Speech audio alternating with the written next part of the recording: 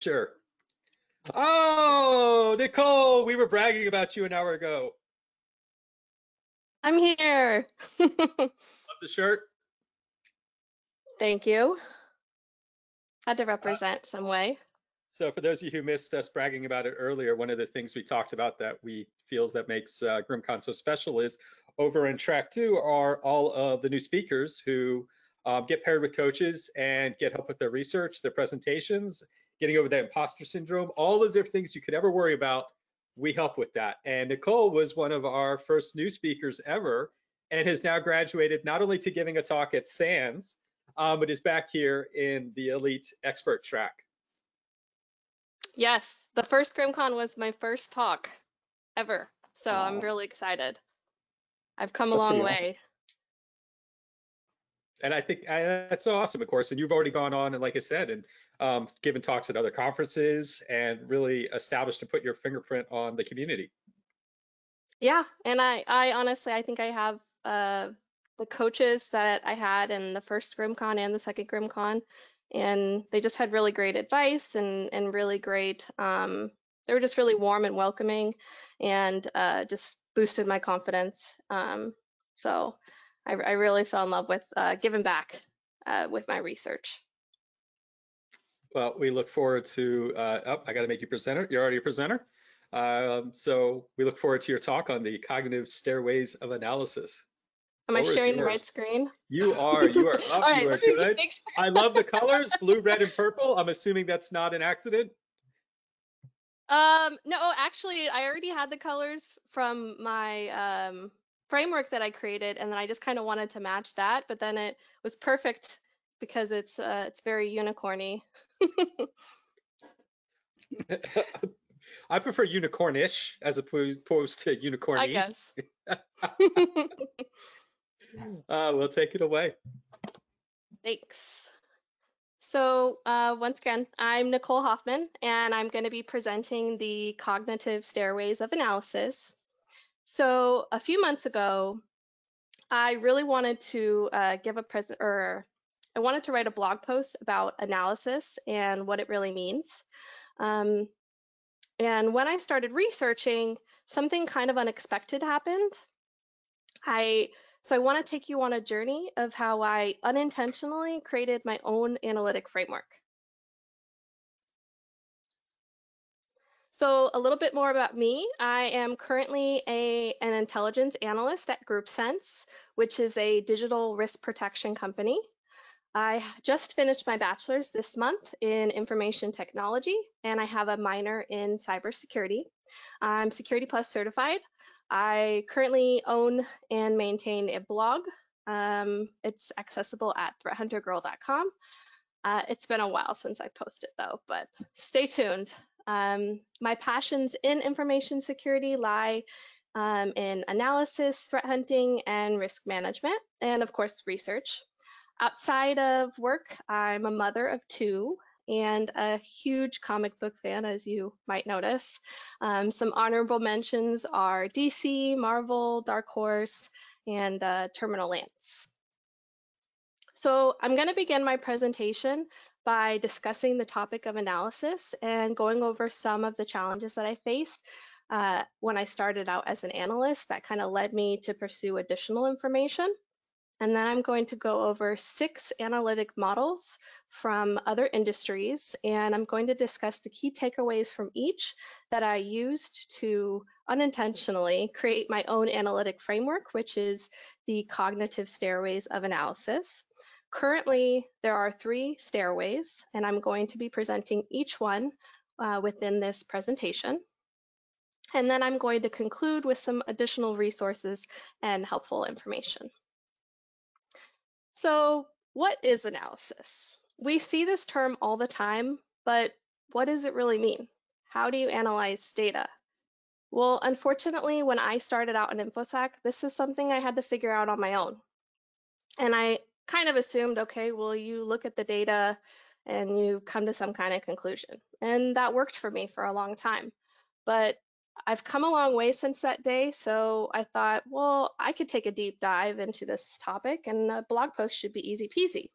I could grab a couple frameworks and put it together and give a little step-by-step process on, on how to do it. Well, when I started my research, I wasn't really happy with the results. I felt like a lot of life cycles and uh, processes just name analysis as a step, but they don't necessarily break it down into additional steps.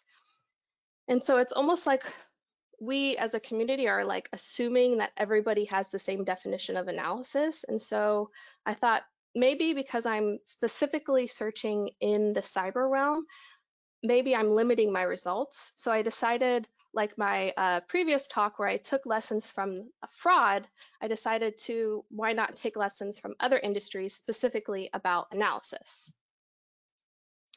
So my research began with a white paper um, and this white paper is titled A Cognitive Interpretation of Data Analysis by Garrett Grolemund and Hadley Wickham. Uh, this white paper compares the process of data analysis to the process of sense making. And sense making is basically how our brains make sense of the world around us. More specifically, our brain creates cognitive structures that um, represent certain aspects of reality. Um, and these uh, structures or uh, mental models uh, or schemas for sense making, they contain a wide range of information about a specific object or topic.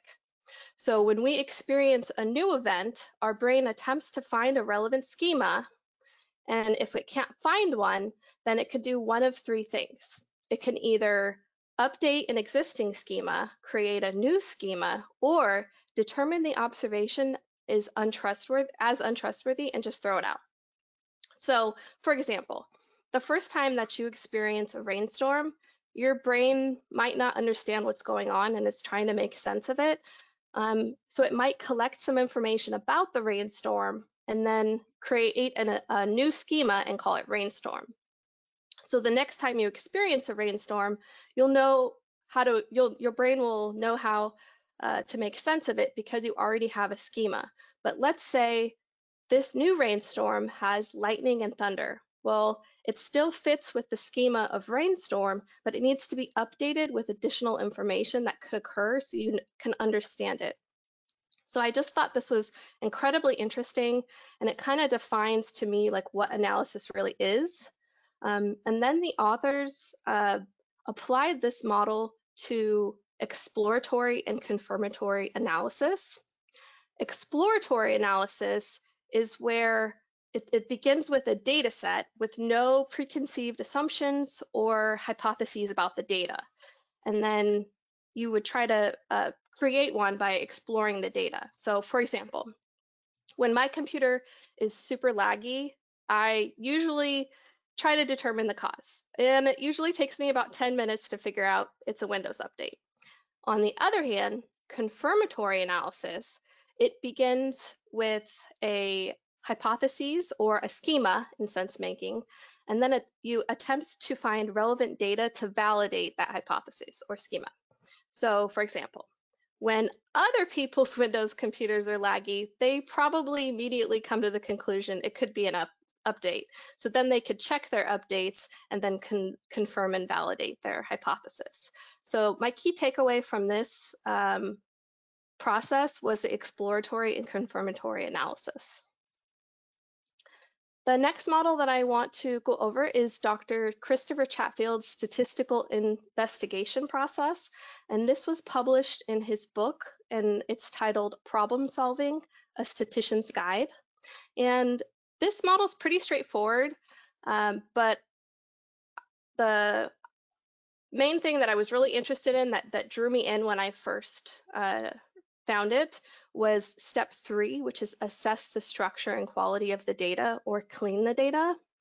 And this is something that I have experience doing when I um, am querying large databases, but it, it can be used for, for smaller databases as well, or you know only a few variables.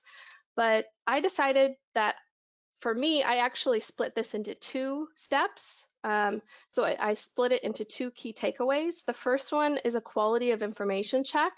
And this is where you would uh, determine the completeness of the data and um, really check the quality of like the sources specifically like if you're doing open source intelligence and you're trying to collect data from you know open sources sometimes you're going to get something that you're just not that comfortable with. And so this is a great way to to, to check that and, and if you see any knowledge gaps or something you're just not comfortable with you can go out and, and get more data cleaning the data on the other hand is like data normalization which is where you get rid of duplicates, you kind of make sure everything is in like a common taxonomy and you get rid of, you know, all the stuff that you don't need that's just going to cloud up your analysis. The second thing that I thought was really interesting about this uh, investigation process was under the select stage. I felt like this sub-process took like an exploratory approach to analysis. It begins with a data set. Um, they look at the data and then formulate a model. And the author specifically states the way that he does this is something called regression analysis.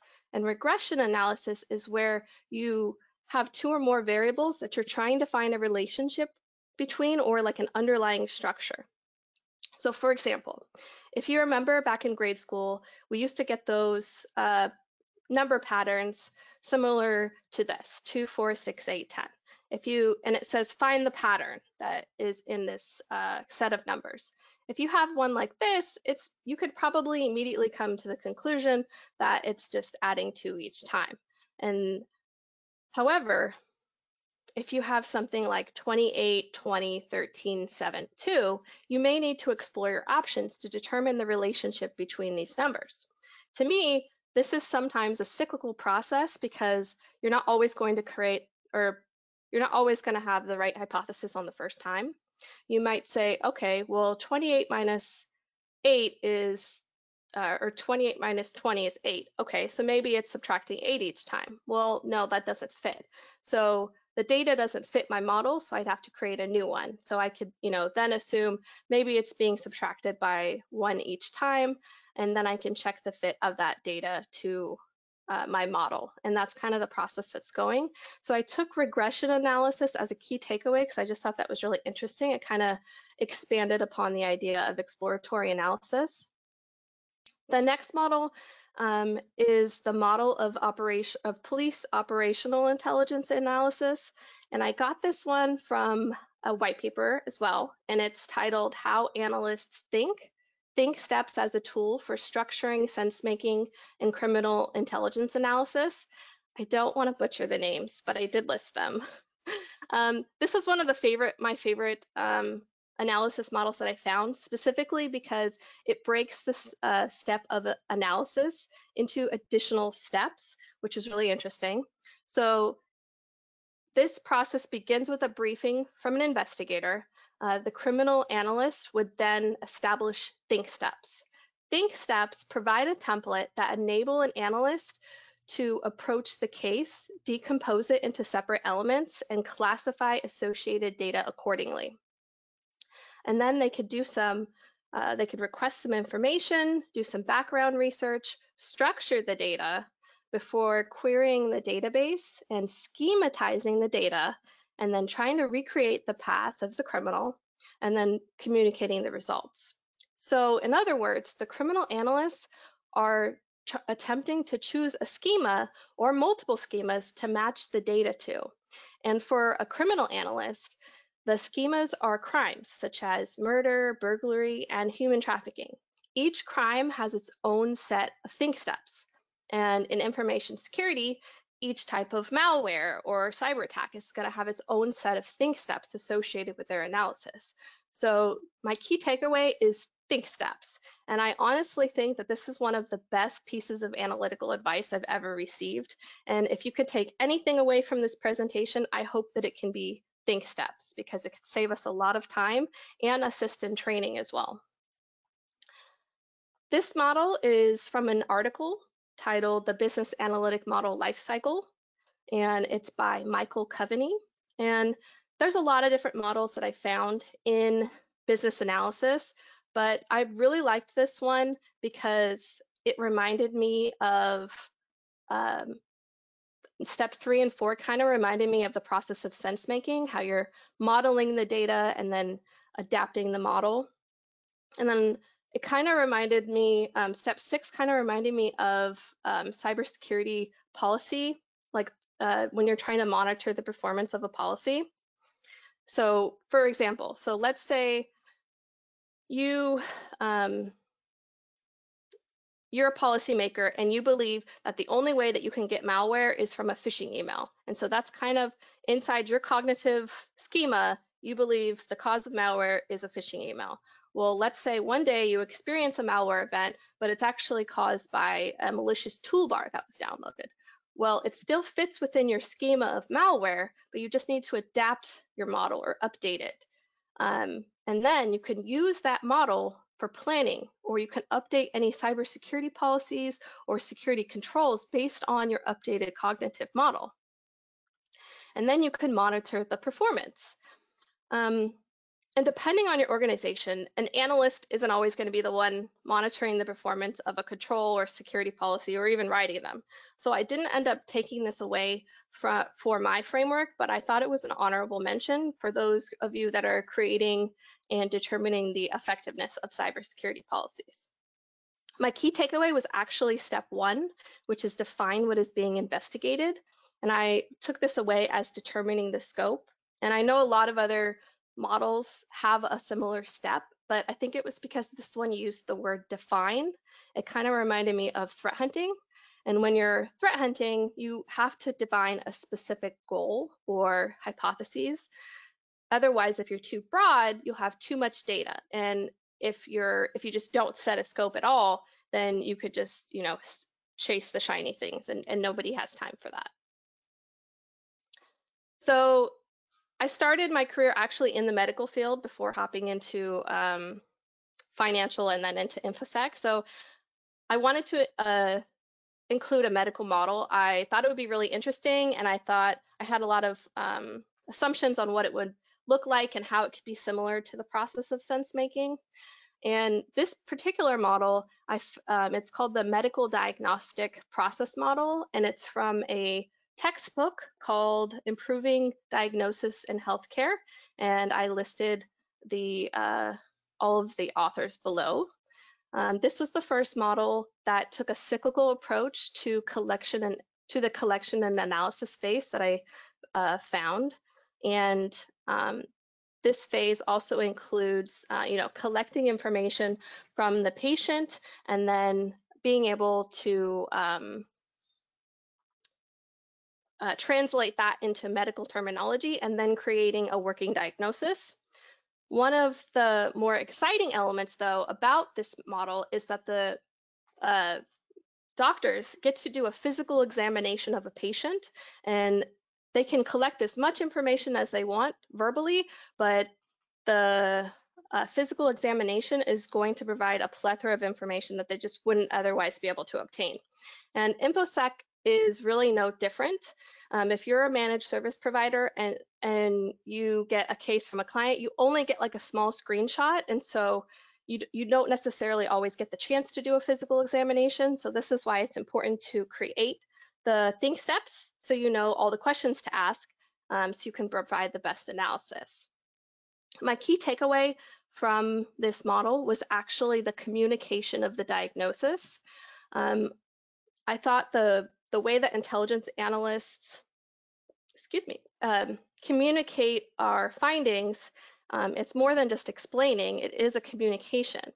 And sometimes um, I have to communicate my findings to multiple people with varying levels of technical knowledge, um, similar to a doctor. So I thought that was really interesting. So I took that away from this model. So I'm a huge fan of meteorology. When I was little, um, I actually wanted to be a meteorologist, but then I found out I'm really, really, really bad at math. um, and there's a lot of math in uh, meteorology. Um, so I, I, had to kind of squeeze in a model from this uh, field. So the model I found is from a white paper, and it's called Optimization of a Heterogeneous Simulations uh, Workflow and I listed the authors again. Um, the process is actually a workflow, and not, you know, an analytic process, but it kind of gives us a glimpse of the type of analysis that occurs in the forecasting process. Um, my key takeaway was actually the first step, which I thought was really interesting because this is the first model that I saw that uh, establishes an environment, um, which I thought was really interesting. Um, because in information security, you know, when we're about to, when we get a case or, you know, we have to do some kind of analysis, we have to understand, you know, where the problem exists. Um, you know, for example, if, you know, Becky in accounting is experiencing um, a phishing email attack, you don't necessarily want to, you know, collect email headers from the CEO. That's not going to go over well. So I feel like this kind of expands upon determining the scope. Um, so I think it's really interesting. The other thing that I thought was really interesting that's not necessarily a key takeaway is the subjective interpretation by a meteorologist. I feel like this is kind of an additional layer of confirmatory analysis with like another set of eyes. And I thought that was really interesting and something that could potentially be useful in a, another stairway in the future. Um, and so yeah, so I just love that. So throughout my research, I learned so much and found so many great models. Um, but I kind of felt like when I was done that I was left wanting more. And I felt like the puzzle was incomplete. And so I thought, well, what if I take away all of my favorite parts and kind of just put them in like a list for my blog post so that people can see like all the great ones. But then I decided, well, why not just make it a step by step process? And then I realized, did I just create my own framework or, you know, process? And so of course I had to give it a name. So I named it the cognitive stairways of analysis. And when I say stairway, I'm merely just relating a step-by-step -step process to a stairway. And there are some optional or optional cycles in the stairway, but there's always going to be an end goal, which is dissemination.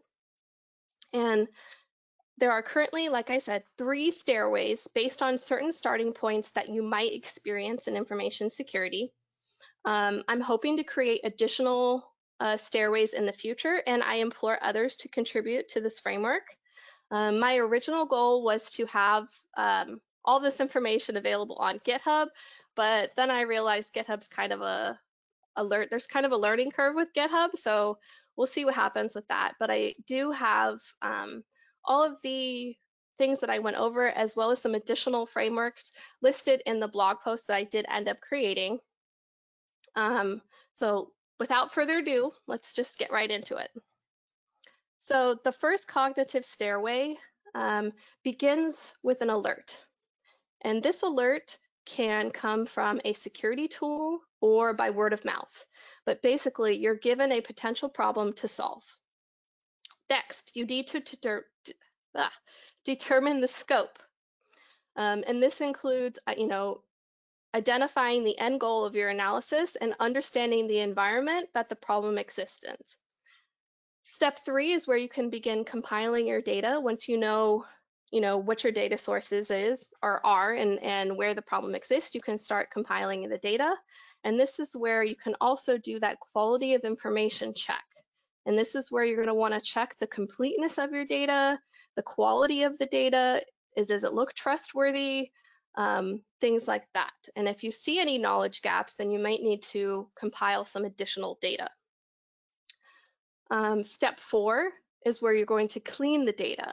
And remember, this is um, basically data normalization. And this is where you're going to put the data into a common taxonomy. So it just makes it easier for analyzing. And when I say common taxonomy, I just mean like everything's the same. Like if you have a field that says like San Diego and there's eight people in your office and all eight of you write it differently. When you go to query a database, you might not get all of the correct fields. And it, and it doesn't really matter when you have, you know, five or six variables, but when you're analyzing, you know, hundreds or thousands of variables, it makes a huge difference. And you can end up not having a complete picture and you can have information gaps just because there's not a common taxonomy. Um, this is also the time to get rid of all the data you don't need. If there's any additional data um, that's just clouding up your analysis, just get rid of it because uh, you, you want it to be as clean as possible so that it makes the analysis better. Step five is where you could begin your exploratory data analysis or EDA. Um, everyone kind of does this differently, um, and it really depends on what the problem is and what the data looks like. This could be looking at a spread, putting the data in a spreadsheet. It could be looking through logs, um, or you know, you could also visualize the data. How whatever helps you explore the data the best. And this is also the time for regression analysis. And this is where you're trying to find, as you're exploring the data, you're trying to find an underlying structure or relationship between the variables. And then step six, you can create your or generate your hypothesis or multiple hypotheses and create think steps for each one. And remember, um, the think steps, they're a template that uh, enables the analyst to approach the case, decompose it into separate elements, and then classify the data accordingly because you're trying to match the data to your hypothesis or schema. And then Step seven is confirmatory analysis, and that's where you're fitting the model to your hypothesis with your think steps. And if you find any discrepancies that um, that don't fit either with the model or the hypoth or the data, you can optionally go back to uh, exploratory analysis and continue searching for anything you might have missed, and then generate a new hypothesis with think steps, or just update your hypothesis. Uh, it really just depends on the data and the issue. And then after you confirm uh, your findings, you can move on to dissemination.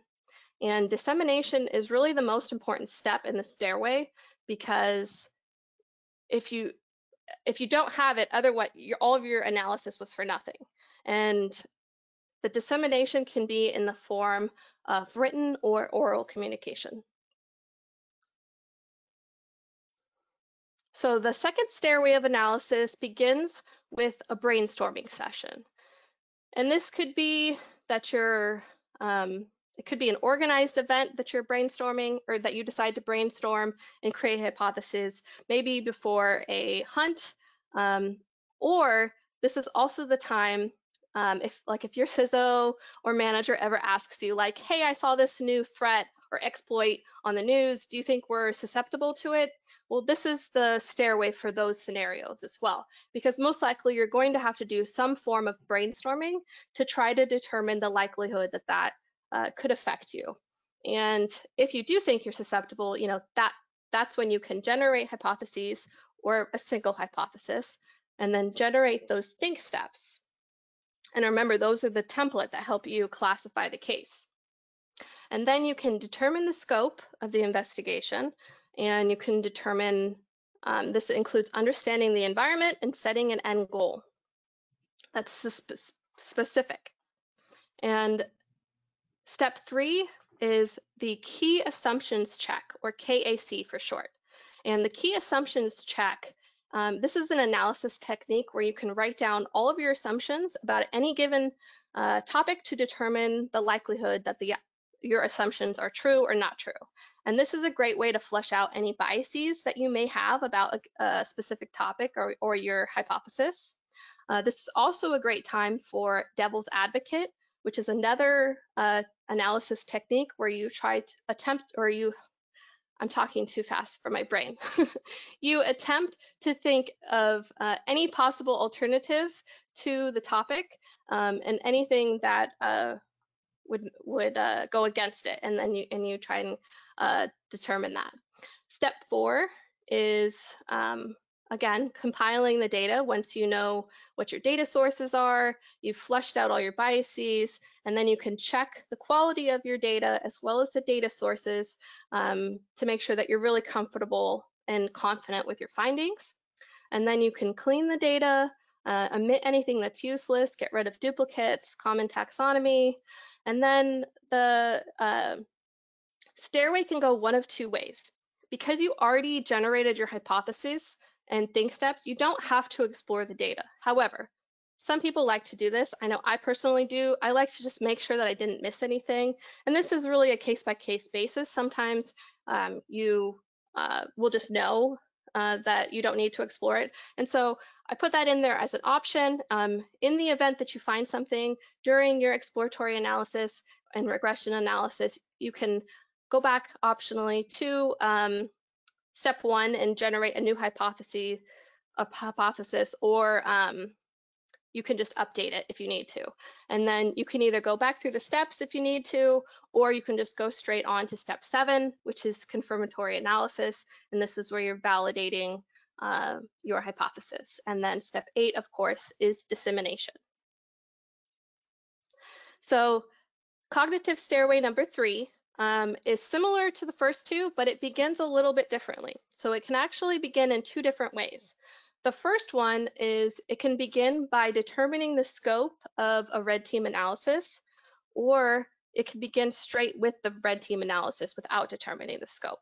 And a red team analysis is basically where you put yourself in the attacker's shoes and try to, um, when you're looking at a problem, you put yourself in the attacker's shoes, and which kind of leads you to a hypothesis of how you would approach this this uh, situation.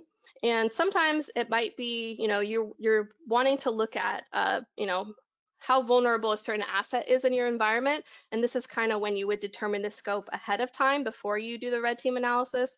But sometimes you're just, you know, browsing your environment and you see something that you're just not comfortable with and you think, hmm, I wonder if I can exploit that.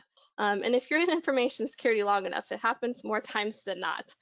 Um, but, and then um, after you do the red team analysis, you can then generate your hypothesis and your think steps and compile the data that you need and then do that quality of information check as well as check the quality of your sources, clean the data, get rid of the useless data, and then optionally, just like in the stairway number two, you can explore the data to look for any discrepancies that you didn't think about um, during your red team analysis. And then you can move on to step uh, seven, which is the confirmatory analysis, where you're uh, confirming and validating your hypothesis to your data. Um, and then, of course, step eight is dissemination. So I went over a lot of different terms, so I included a glossary of terms, and I'm going to make my um, slides available after the talk. And of course, my resources.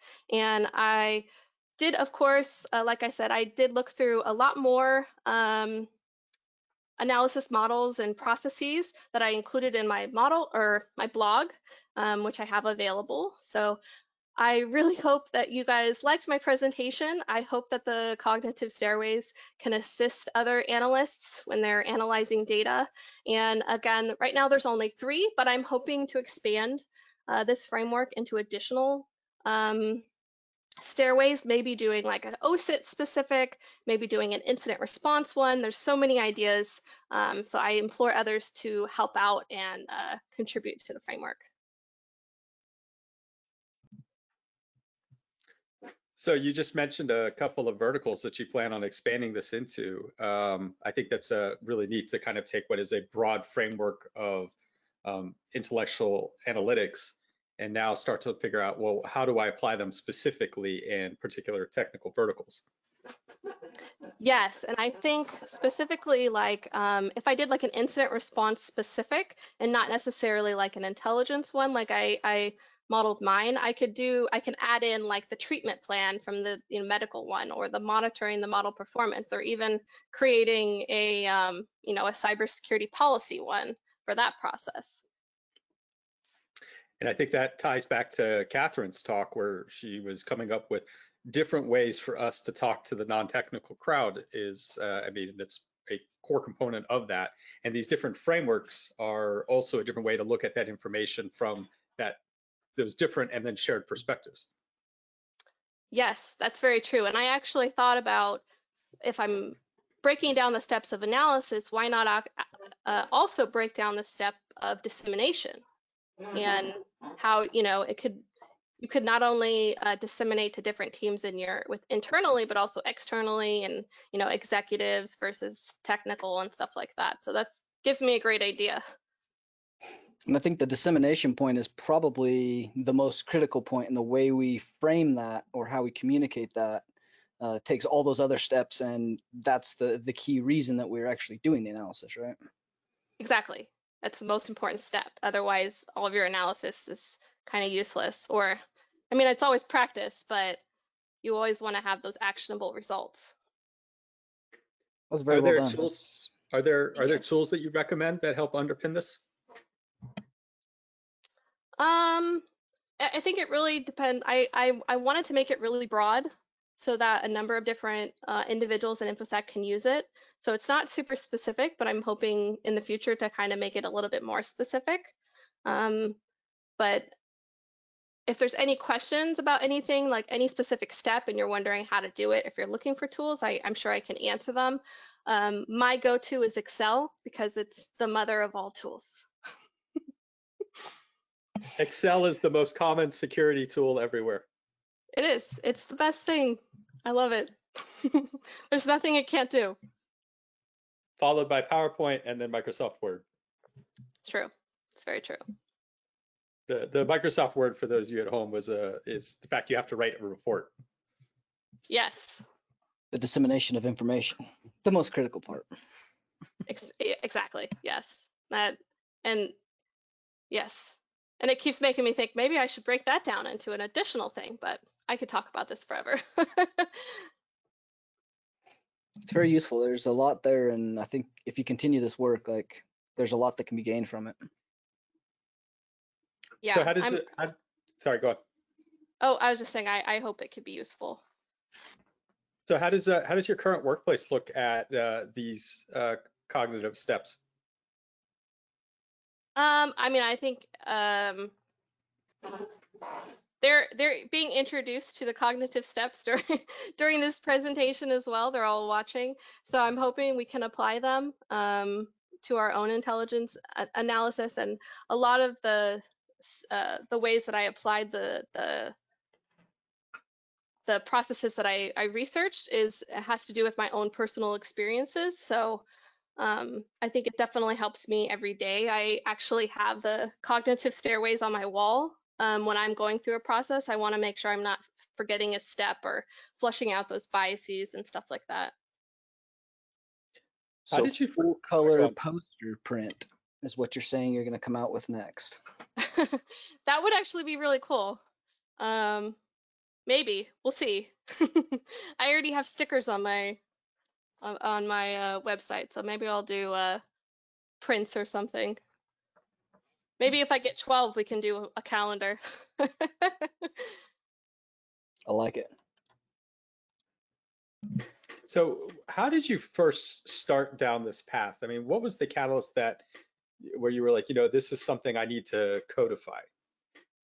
So I, I started with a, I just wanted to do a blog post and I thought, well, um, I had a couple different topics and I'm like, well, let's just do a deep dive into analysis because I just, I kept seeing analysis as a step in different frameworks and processes.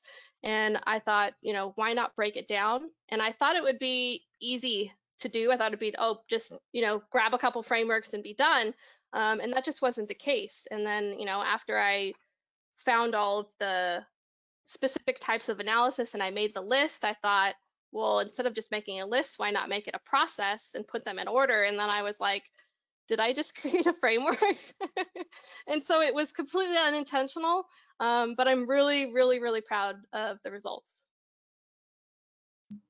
Well, again, congratulations on uh, graduating with your bachelor's degree. But I'd like to point out that a lot of the work that you're doing here leads directly into a thesis.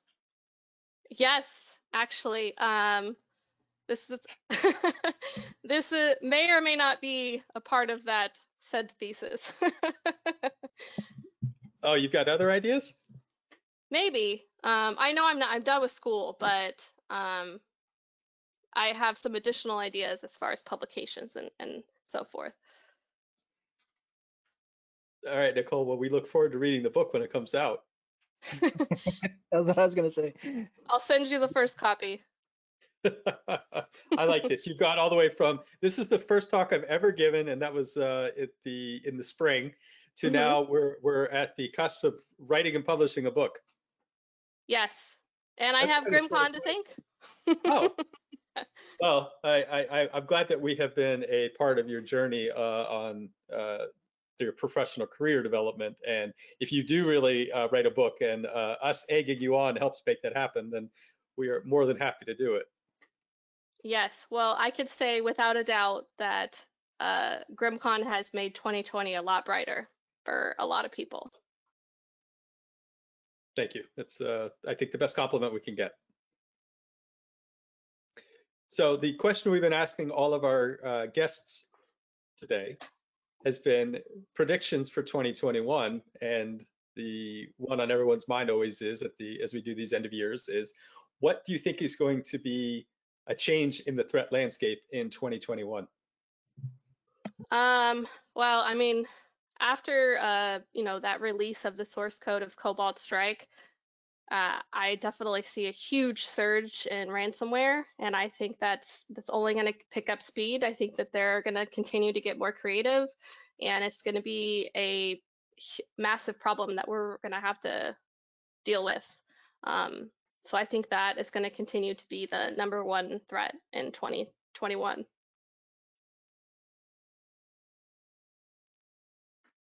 Tyler, that sounds a lot like what you were saying earlier. Yeah, that is that's very similar, and I, I don't think you're you're far off. Uh, and not just Cobalt Strike, right? Like Cobalt Strike's a Yeah. Java application. It's been reversed several times. Like the year of the C2 was last year, and that was a a large amount of of good frameworks that have very similar capabilities. So uh, the ease of being able to be a semi-sophisticated adversary uh, with commodity tools is is now. So it will become much more prevalent, and they will be abused moving forward. Like we've seen, uh, I think the gap between the script kiddie and the um, sophisticated adversary is going to become bigger, and the gap between companies doing security right and companies that are getting left behind is going to be greater and greater. I hope so. Uh, I, those I who hope that haven't we can start it- doing it the right way. uh, George and I, um, coming from a lunch conversation uh, at the last DerbyCon, um, we pushed out an, a, a concept called uh, the C2 Matrix, um, the c2matrix.com, and we wanted a compendium to catalog all of the C2s that were publicly available, whether they are purchasable or whether they're open source. And when we first started, we initially had a list of 23 of them, and we're over 60 now that's how many are out there and available. And uh, to help folks at home, we also provide a decision matrix on how to use which ones for certain purposes. Um, there are defensive components there, so we are uh, generating artifacts to be able to defend against them. And then we also include a couple of uh, VMs that already have a lot of these things installed, so you can get started from day one because uh, some of them, the first challenge is just getting the thing to actually install the package. That's pretty awesome. I think that's highly That is useful really awesome. from from a tracking standpoint and just keeping it up. Like I thought I knew a lot of them, and I get on that list, and there's some I'm like, when did that come out, and how did they, when did they get that capability? Like there's a continual adaptation, and there's a lot of groups pushing stuff. So yeah, a lot of innovation happening in the community there. Um, and so it's been really interesting also seeing which languages become popular and watching those grow. And we're not even talking about like a, a, a multi-year view here. This is a one-year view, seeing the shift in the conversation, where the innovation is coming, what new frameworks are coming to the table, and why they're coming to the table. All time back to your prediction there, Nicole, which is I think that um, commoditized, um, available uh, offensive tooling is going to um, continue to uh, be seen quite a lot. Definitely. Yeah, I think that there's, um, you know, that it's a huge threat when someone that has no technical, um, they're not in the technical field. Everybody that you that I can talk to, all my neighbors, they all know what ransomware is, and so that's kind of how you know that it's it's a definitely uh, a big threat. yes, it is. I think it's going to be an interesting 2021. 2020 was a sucky year, but there was a lot of uh, things that happened, so it kind of sets up a an interesting dichotomy for 2021. Ha- Have you ever walked into a year and been like, this is going to be the boring year? Nobody ever comes in like, well, this year it, what's going to be different about it is nothing's going to happen. It's going to be boring. It's going to be calm. it's going to be peaceful. There are going to be no surprises. I don't know if You that's had a year like 2021, buddy. no, It's never going to be the case. no, this is true, especially in the age we live. but that's all the all the more important to get your analysis right. And I think the the framework that that you just uh, kind of displayed is a great, especially for those that have analytical minds, which is a lot of us. Uh, having that kind of framework to follow and really breaking down the pie in the sky. It's always better to uh, keep breaking those components down. Yeah, it's just analysis, but what happens in analysis? How do you do analysis right? Like those components. That's a uh, that's something I haven't seen a lot of, and I think that's really really cool that you did that. Thank you. All right. Well, Nicole, great to see you again. As always, thanks for having me. I'm honored. And uh, thank you for your uh, kind compliments on uh, GRIMMCon for the year. Uh, we wish you a wonderful 2021, which according to Tyler is going to be easy and boring. Yes, super boring. Uh, till GRIMMCon 4, we'll see you. Bye.